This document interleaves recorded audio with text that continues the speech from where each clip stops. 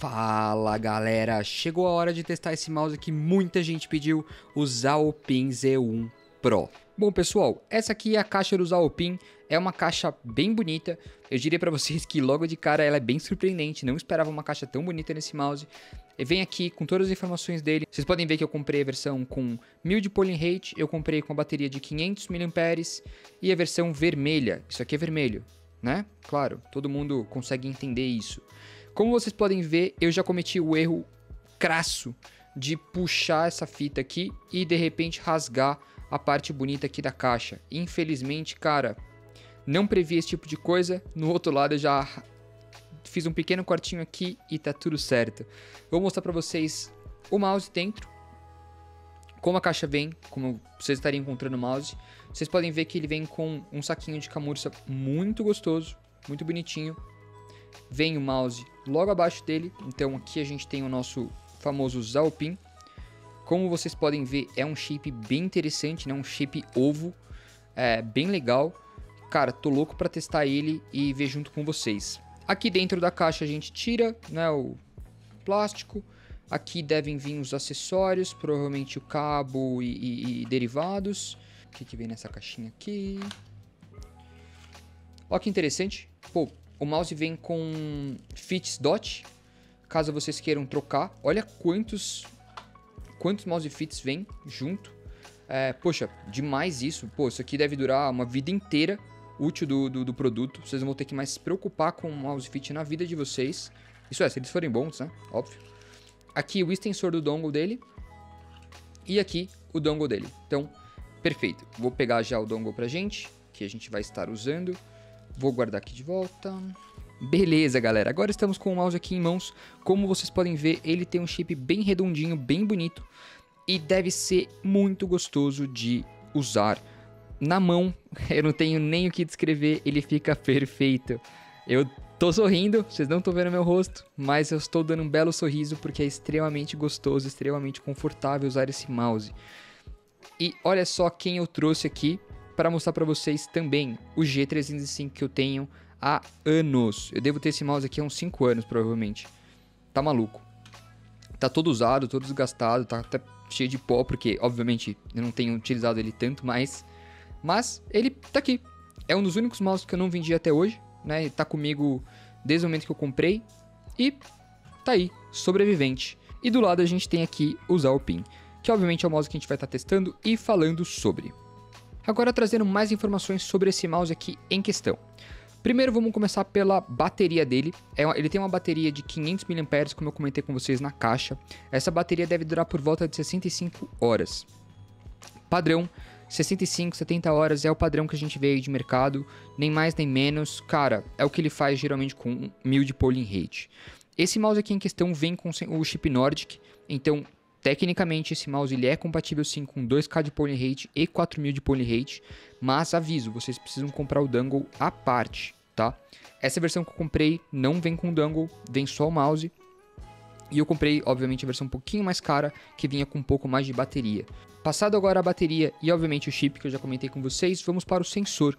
O sensor dele é um sensor PixArt 3395, padrão de mercado. Todos os mouses que a gente tem falado da China vêm com o PixArt 3395, chip de última geração, um dos melhores chips atuais e sem problema, sem nada, excelente chip, excelente conjunto, né? Passar essas três coisas bem simples, vamos falar do peso. Agora vamos passar para o peso desse mouse. O mouse está pesando por volta de 51 gramas. É extremamente leve. Quando eu pego lado a lado com o Superlight, eu noto que ele é bem mais leve que ele. E eu noto também que, obviamente, né, nem preciso pegar muito. Meu super, o meu Defender aqui é, cara, ele pesa 64 gramas, esse aqui pesa 51. Dá para notar essas, essas 10, 11 gramas de diferença entre os mouses. E, óbvio, se eu for comparar com o peso pesado aqui, um mouse de praticamente, se eu não me engano, o G305 tem por volta de 120 gramas com a bateria. Cara, é um belo peso. Dá para sentir o peso desse mouse. Indo agora para o switch dele. O switch dele é um switch um pouco diferente do que eu tenho costume de ver, porque no site da, da Zalpin eu vejo que ele tem switches Ruano, só que eles chamam esse switch de Ruano Powder True. Eu não sei que, que tipo de Ruano são esses, É, eu acredito que pela fotinha eu vi ali que ele tinha o ponto rosa, né? Então é um pink dot. Eu só não sei se ele é blue, né? Então se a case dele é blue, ele é transparente. Deve ser um switch especial feito diretamente para usar o pin, para que eles usassem nesse mouse. É, a implementação, poxa, tá muito bem feita. Parece, parece um, um pink dot. Honestamente, quando eu tô clicando nele aqui, ele é exatamente na mesma sensação que eu tenho com os meus Ruanos Pink Dot. Vou aproximar para vocês o microfone para que vocês consigam ouvir exatamente o barulho do switch.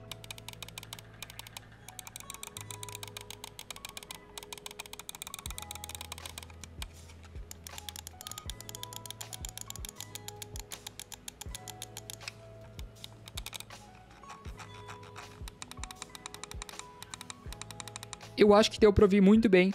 São switches bem silenciosos, bem precisos. Aqui no dedo, putz, não tenho nem o que falar. Como eu falei com vocês, parecem switches Ruanos Pink Dot. Então, devem ser ou deve ser uma coisa muito semelhante a isso. O scroll wheel dele é um scroll wheel bem leve, bem macio, mas muito preciso. Eu consigo notar exatamente os pontos. Aliás, muito melhor do que o do meu Super Light por incrível que pareça, ó, você pode notar que os dois são idênticos, né? Em termos de, de aparência, os dois switches são idênticos. Scroll wheel, no caso, né? Então, a gente vê que, cara, na minha percepção, esse scroll wheel aqui tá melhor do que o do Superlight. Parabéns ao PIN. É um scroll wheel fácil de clicar, com bastante range, então eu consigo mexer bastante. É, eu consigo me ver jogando com ele muito fácil nos jogos e, e trocando de arma, putz, com uma certa facilidade. Os switches laterais dele são switches um pouquinho menores do que a gente está acostumado a ver, o que não atrapalha por um único motivo. Se vocês notarem, ele tem uma curvatura bem forte aqui acentuada, onde vai ficar o seu dedão.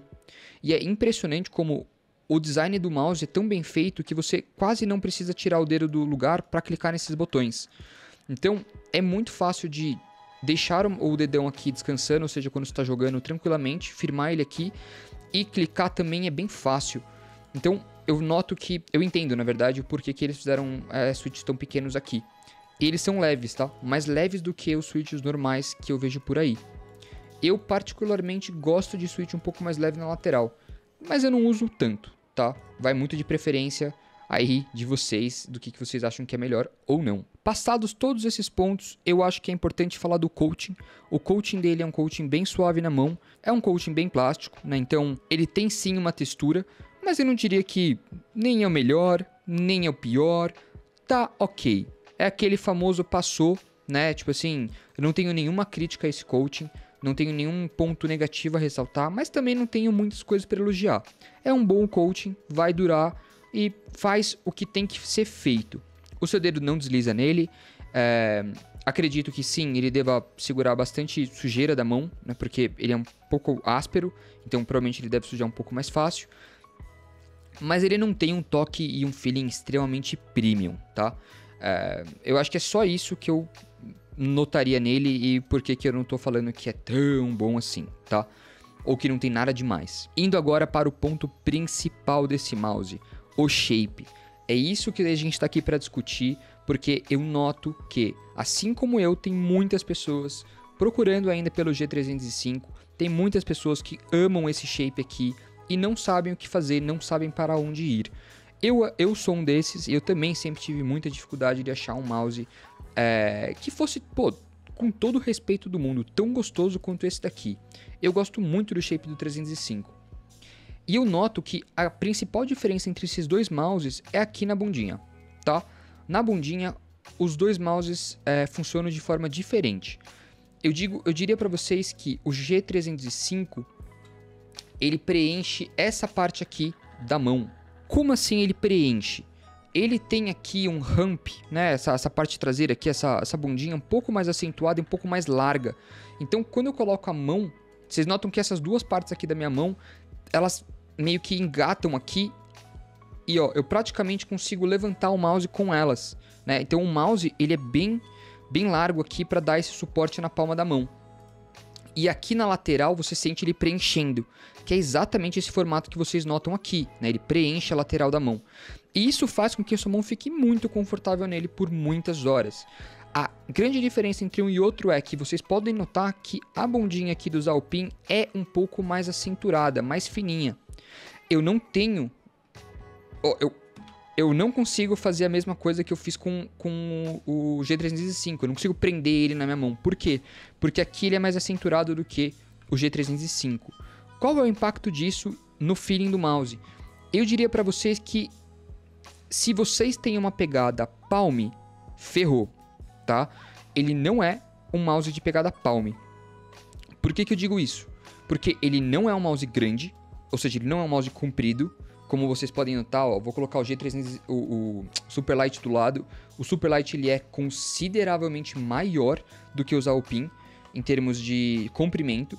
Então eu não tenho muito onde ter onde apoiar. Só que esse mouse aqui para uma pegada claw, que é exatamente como tá minha mão aqui, ó, para vocês, ele é brilhante, porque ele vai te entregar o shape confortável do G305, ou seja, ele vai te deixar numa pegada muito confortável nos dedos, né, nessa parte aqui, nessa região da frente da mão. Essa região aqui vai estar super bem atendida.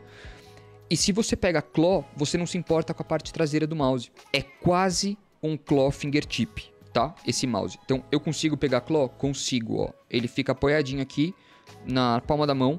Se eu quiser pegar fingertip, muito fácil também, porque o mouse é pequeno tá? Então, eu diria para vocês que se vocês têm uma mão muito grande, eu acho que mesmo com mão muito grande, vocês não vão ter muito problema com isso.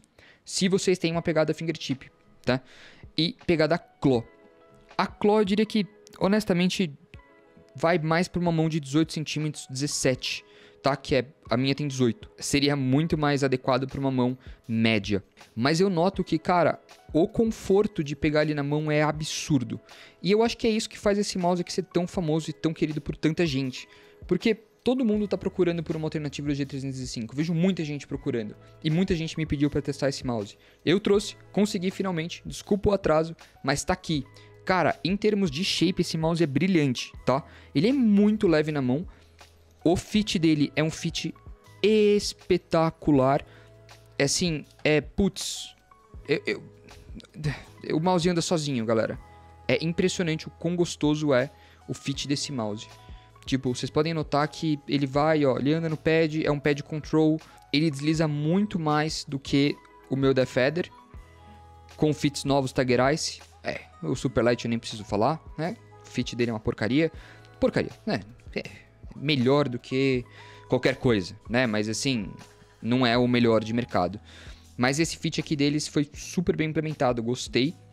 Não agarra em absolutamente nada, é bem redondinho, muito bom. Agora, se vocês estão procurando um mouse com um shape ovinho, né? Então, largo nas laterais, putz, super confortável aqui no dedão. Cara, uma bela alternativa para o G305 é esse daqui, beleza? Uma única coisa que eu tenho para destacar para vocês é que o vermelho dele da foto não é tão vermelho, tá? Eu acho que é super importante mencionar isso, porque eu tenho caído em golpe atrás de golpe nessa, nessa AliExpress, atrás de mouses vermelhos. Eu adoro mouse vermelho sangue e eu não consigo encontrar, né? Como vocês bem sabem, eu testei o M3S, né, da Darmo Shark. Putz, ele era mais rosa do que outra coisa. Esse mouse aqui continua não sendo vermelho. Se vocês quiserem uma comparação de vermelho, é o Death. O Death tem um vermelho perfeito, pelo menos nos meus olhos, né? A não ser que eu seja daltônico. Mas a gente nota que um é um pouco mais rosinha do que o outro. E agora, galera, vou testar esse mouse aqui em jogo e vou falar com vocês e vou passar para vocês as minhas principais experiências com ele, os principais feelings que eu tive e se eu gostei dele ou não. Obviamente, vocês já devem ter notado que eu já gostei muito do que eu vi. Mas vamos testar agora em jogo e ver como eu me, me comporto com ele na mão e tudo mais. Bom, galera, agora testando o mouse. As primeiras impressões que eu tenho dele são excelentes. Como eu comentei com vocês, ele é um mouse extremamente leve e ele tem um fit muito bom. Essas duas coisas juntas fazem com que o mouse tenha um glide muito gostoso, muito suave. O maior problema para mim, na verdade, é ajustar o DPI, porque, galera, é muito osso quando você está testando vários mouses e aí você tem diferentes tipos de peso, diferentes tipos de fit, diferentes formatos também. Então, como eu comento sempre com vocês, eu geralmente jogo com 1200, 1300 DPI e com os Alpin eu tive que dar uma pequena ajustada para baixo. Eu tô por volta de 1000, 1100. Isso porque se eu deixasse ele muito mais alto, eu tava perdendo o controle dele muito fácil. Então, sempre leve isso em consideração quando você for pegar um novo mouse para vocês. É, o peso impacta muito e o fit também. De maneira geral, eu noto que os cliques são perfeitos e responsivos do jeito que a gente sempre gosta. Eu vivo falando para vocês e eu vou continuar repetindo até que exista um outro Switch que eu goste tanto quanto o Ruano. Os Switches da Ruano são muito bons, muito rápidos, precisos e eles não te deixam na mão. Então, se você estiver procurando mouse, eu recomendo sempre ir para Ruano. Ah, uma alternativa que muitas marcas fazem ou colocam nos seus produtos são da Caliph. A Caliph tem switches muito bons também. Duram muito, são muito bons, porém eu acho que eles são menos táteis e um pouco mais duros de clicar. Eu sempre comento que isso é uma característica do produto e depende muito do que você gosta. Agora, eu entendo que o que muita gente quer saber é como esse mouse se comporta perante ao G305. Eu diria para vocês que muito melhor, muito, muito, muito mesmo. É, existe um mundo de diferença entre esses dois mouses. O G305 está numa outra era de mouses que foi criada, poxa, há 5, 6 anos atrás, e ainda assim a Logitech, quando fez o G305, lançou com uma tecnologia mais atrasada, porque ele era um mouse de entrada, era o mouse mais simples que a Logitech tinha. Então, se vocês estão procurando um bom mouse hoje, com um shape muito parecido com o G305, eu recomendo fortemente considerarem usar o PIN. Ele é um mouse muito, muito bom. Eu paguei nesse mouse aqui 220 reais. É, obviamente com frete grátis, e aí, mas eu tive que pagar aquela taxazinha, né? Taxa do amor. Mas beleza, chegou tranquilamente e super rápido. Eu acho que o grande ponto positivo desse mouse mesmo é o conforto e a agilidade dele.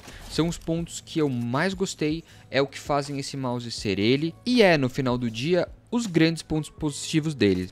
Porque no final do dia, como eu comento com vocês, pô, os sensores são todos ótimos. Os switches, a galera, a maioria está usando o Ruano. O que vai diferenciar um mouse do outro no final do dia é a bateria, é a qualidade do software, é a construção do mouse, é assim, são as pequenas coisas, mas no final do dia, o que eu sempre comento com vocês é que o mais importante é o shape.